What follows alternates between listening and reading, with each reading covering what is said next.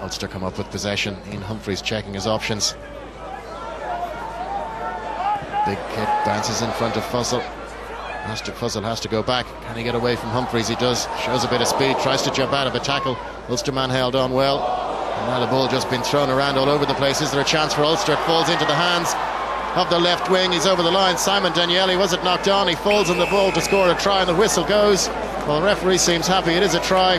Ulster back in front. It's five points to Dragons, eight points to Ulster. With the conversion to come, Danielli won't get many easier chances than that.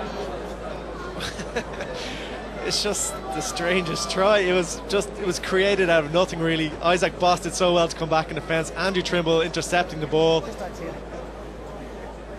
And as we watch the Dragons just trying to overcomplicate things, just firing the ball back, and Danielli putting an awful lot of pressure on. Good strength to power out of the tackle and score a try. And you know, Fussell had done well to run out, but great tackle by Darren Cave to put the pressure on the Dragons in the first place. Dragons never recovered properly. And good awareness by Ulster. Well, I was unfair to Danielli if I suggested he knocked the ball forward. Clearly, there it was the Dragons' hands that knocked it away when it was bobbling loose, but Danielli did very well to keep his eye on it. I